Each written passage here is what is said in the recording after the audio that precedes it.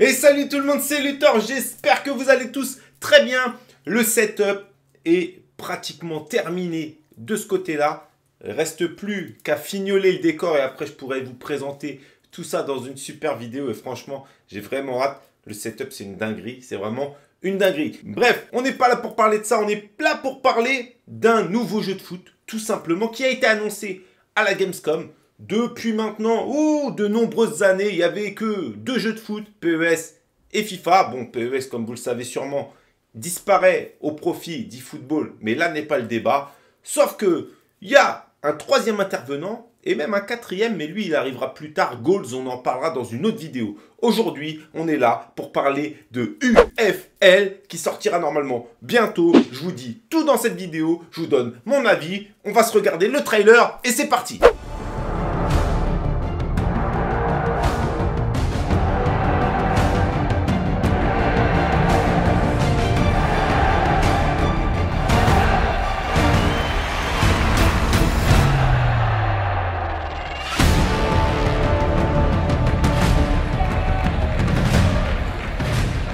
Un mystérieux studio a été créé en 2016, donc il y a 5 ans, qui se nomme Strikers. Strikers, ce studio emploie plus de 200 personnes réparties dans 5 continents. Donc en fait, ils ont 5 bureaux dans les 5 plus gros continents, dont un en Europe. Donc là, on est vraiment en train de parler d'un gros studio. On ne parle pas d'un petit jeu indépendant.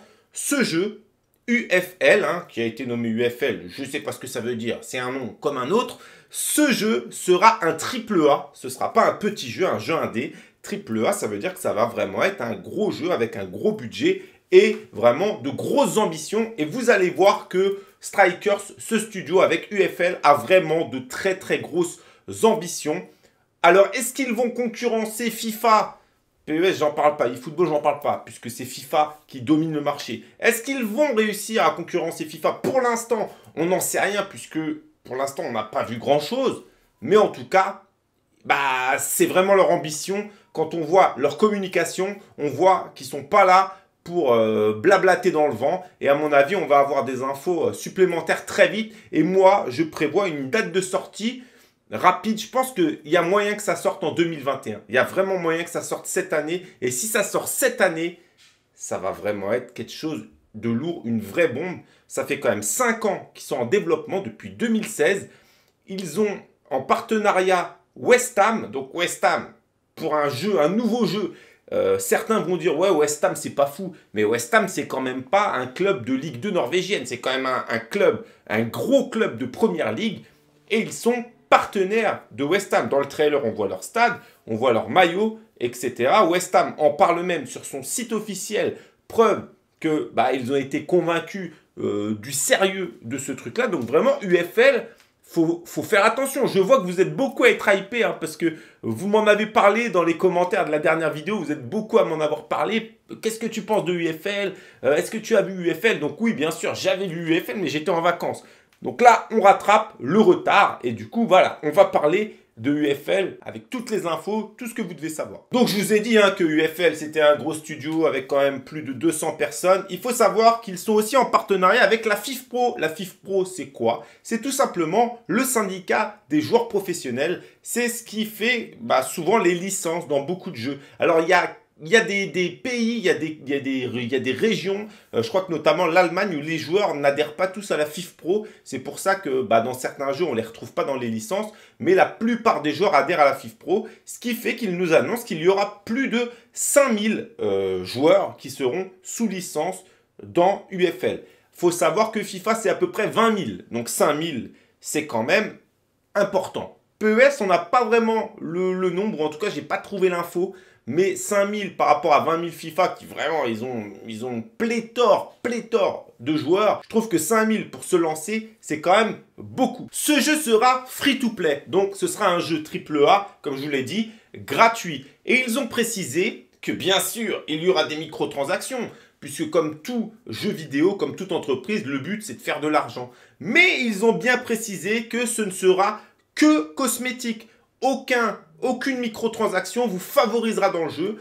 Et ils disent que ce sera un jeu online qui sera fait pour les bons joueurs. Et donc, les bons joueurs gagneront face à des mauvais. Là, ils vont clairement tacler euh, PES et FIFA qui, eux, ont vraiment bah, une prédisposition pay to win. Hein. C'est dans leur ADN, c'est assumé.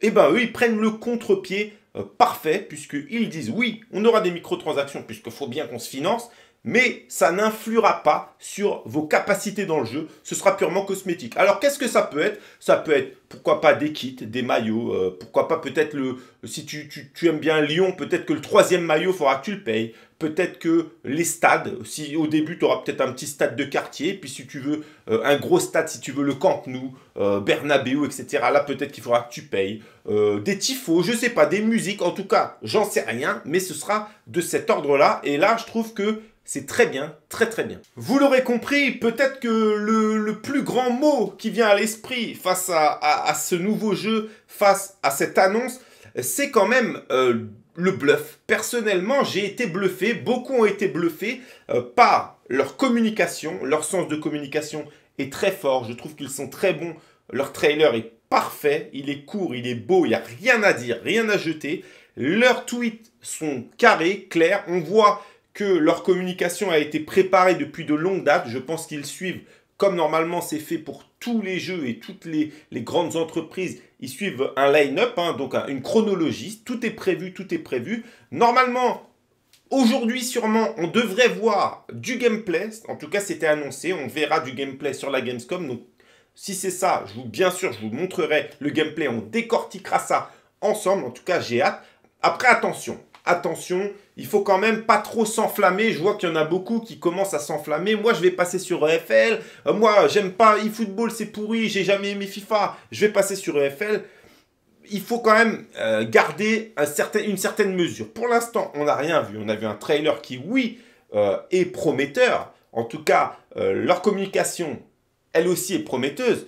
Mais on n'a rien vu du gameplay. Personne n'a testé le jeu. Et là, on peut vraiment avoir une mauvaise surprise. Donc, soyons attentifs, regardons ça vraiment avec attention, mais ne soyons pas non plus euh, trop hypés parce que on risque aussi d'être déçus. On sait que FIFA, eux, ils sont très forts en communication tous les ans. Ils montent la hype et derrière, bah, beaucoup de gens sont déçus.